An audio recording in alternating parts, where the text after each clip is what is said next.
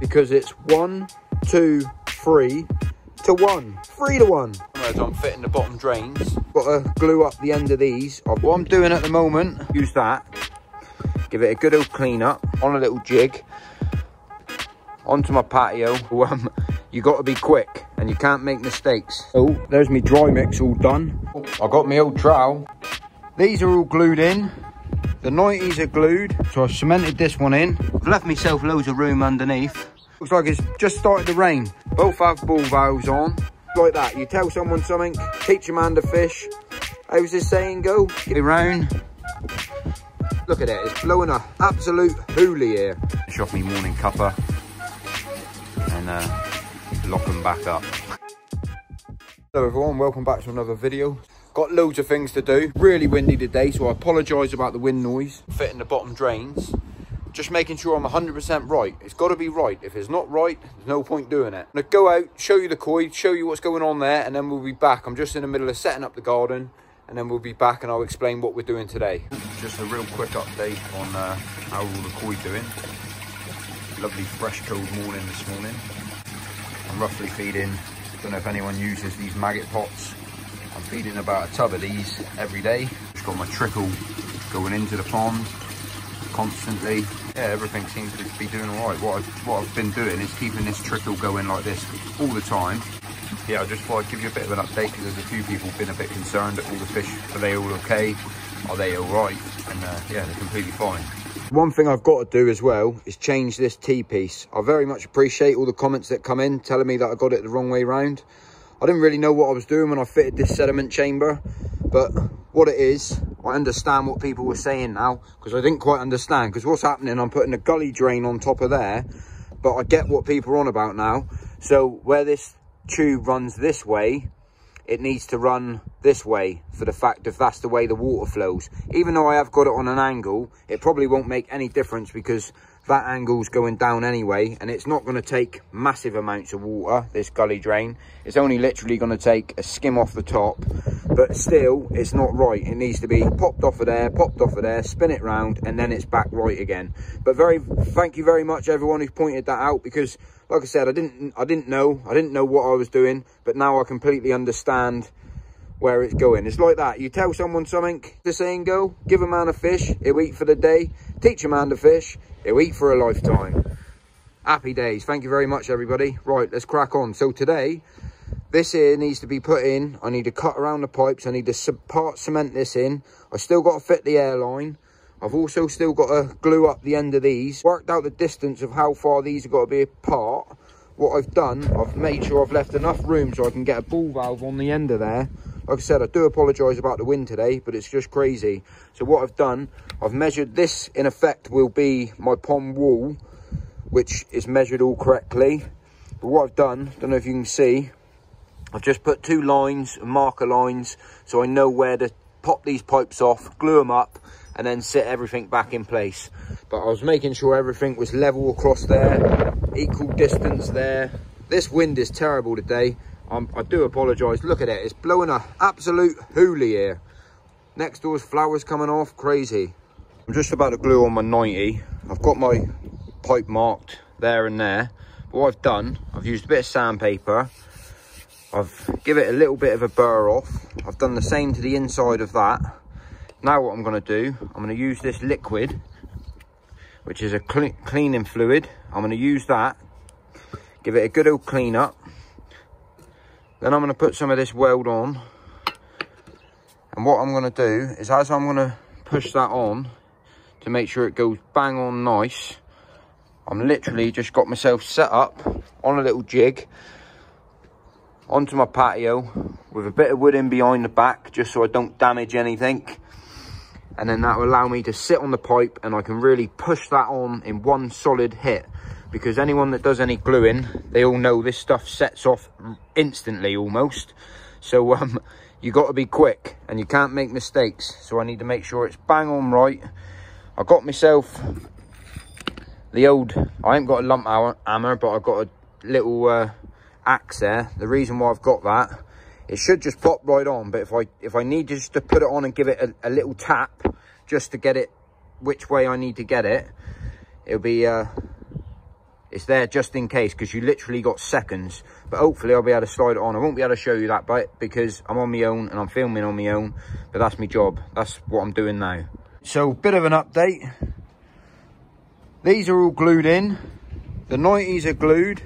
What I'm doing at the moment, I'm just fitting my airlines. So eventually, the reason why I'm doing it like this, I want them to come up in the exact same point against the, the back of the pond wall. Inside my filter house, these two pipes will come up in the exact same place. Both have ball valves on to shut the air off if I ever need to. And the main reason why I've got these in the exact same place, because my wall for my filter house will run up through here, and these will plumb dead straight against the wall, and then I can pin these against the wall. So I've got to mark all these up now with a marker pen, get them all glued, and it's another job done. Happy, happy days. Right then, so you'll have to bear with the wind noise a second, but it took a bit of working out, but I think I'm there. So I've made sure that these two drains are dead level, like so, lovely and plumb, that way and that way. I've also made sure that there's a slight drop off into both the drains. Let me just show you that a second. Just where the bubble is, you can see it. There's about five mil gap underneath there. I've done the same to this side. Like so. Exactly the same. And then if I spin you around go over this way. Exactly the same there. Took a bit of working out but you better to check and check and check and check I've also made sure that these two pipes the exact distance apart they need to come up 300 mil up out the ground so then they can go directly into my drum filter that I'll be getting. I've also made sure they're dead level. I've made sure that these pipes are dead level down here, which will be the back of the pond wall. So these in effect, one will be clipped off higher than the other, but for now I just stop dirt going down there, put a 90 in. These two will be pinned directly against the filter house wall. One will be higher and then both of the lines will run across the filter house wall. Um, what else have I got to show you? There, pretty much now, everything's glued up, everything's in place. I'm going to cover these as well. I've got to put the, the shoots out for that. I haven't made up my mind if the ball valves are going to sit like here and here, or if I'm going to lay them flat before they go into the drum. I haven't made my mind up that yet. I'm going to wait until I get the drum. I might just put stubbies up and, well, I'll get to that when I get to it. But where I'm at at the moment, what I need to do now to make sure I can't completely concrete them in at the moment. What I'm going to do, as you can see, I've got the gully dug out, both sides. I'm going to put a mountain of concrete around there, there, there, there, there and there. And then also around the drain itself to stop it from moving. I'll put some blocks on it. I'll let that set for a week and that should stop any movement. That's my plan. It should stop any movement whatsoever. But at the same time, then I can offer one of these down over the whole entire pond, the base. And what that will allow me to do then is that I'll be able to spray paint out what needs cutting, cut all of that, lay it in on top of some blocks like this. So it's just hovered halfway up between the concrete and the, the base let me just get it done because I got to think of these things and I got to show you at the same time. It's noisy and I haven't done much filming today because it's been absolutely crazy. A lot of working out to do, but you've got to make sure these jobs are done right. If they're not done right, you'll end up kicking yourself later on. You're better to check three or four times. That's what I've been doing for the last two hours. I've been measuring that. I mean, you adjust that by five mil that end. Time you get down here, you've moved it a hell of a long way. So you need to make sure you're bang on. Everything needs to be absolutely prim and proper. If it's not prim and proper, then it ain't going to work. The pond wall will finish to the back of here. I've left myself two inches for the thickness of the ball valve, so didn't want to be left room if I do make up my decision of putting them there. I didn't want to not have enough room to put them there. So that's why I've done it like this. But one job at a time, and we'll just keep ploughing on. But I'm going to get these concreted up now, do a mix. Look at the weather like. Not the best of days today, but I need to make sure it's done because if it comes in with a rainstorm, things ain't going to be good. Let's have a mix up. Let's get some cement out, have a mix up, lay it down on the floor, sort of, sort of a little pile up and just get these pre-cemented in. Oh, I got my old trowel. One thing for sure, I'm going to have to get some building materials because I've only got small little trowel like this.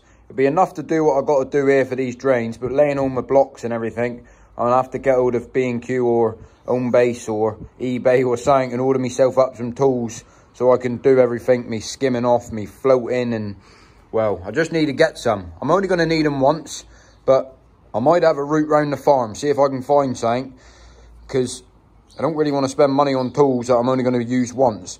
But it'll do for now. So you know why they call it three to one? Because it's one, two, three to one three to one. Oh, there's my dry mix all done. Now time to add some water and just slowly mix it up. What I do, I add a bucket, then I add half a bucket of cement, then I add a bucket of sand, half a bucket of cement, another bit of sand and mix it up as I go. I'm gonna uh, chuck some water in there. When I do the full foundations, don't worry, I ain't mixing it all up by hand. I'm only mixing this up by hand because I haven't got myself diesel cement mixer that I'm renting. I ain't renting it just to do this little job. I'll get this done, let that set for a week. Next weekend, bang it all out. Right, so I've cemented this one in. I've left myself loads of room underneath. I've just gone through all the structure points. So I've cemented it in here, all the way round, like so. And then I've done the same to the end bit.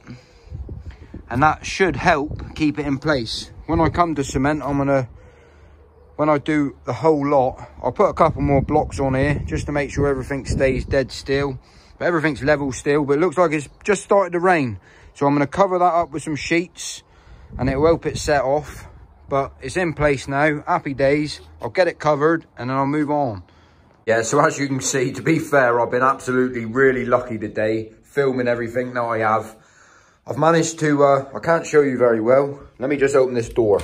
It's a bit windy, but I've managed to, I've just put some old dumpy bags over the cement that I've put in, just to purely let it help it set off and keep the anything mud and rubbish going in the drains and making it that little bit messy when there's no need for it to be when I got spare bags. So I've put spare bags. Unfortunately, I didn't have time to put that down into place, but it don't matter.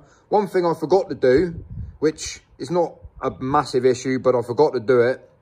I forgot to lay I had an old blue sheet up there and I was going to lay that down in the pond. I might still lay it down and just cut out round the pipes, but I was meant to lay that down, but I forgot. I just got carried away. It can't be perfect. It won't matter too much because I'm going to put a bed of gravel in there first. That's turning up this week. A load of gravel, just about an inch over the whole board. Smack that right down and then put the rebar in and then start concreting. Winner, winner, chicken dinner. But on that note, I'm going to end the video here. Thank you, mother for the rabbits. And I'll see you on the next one.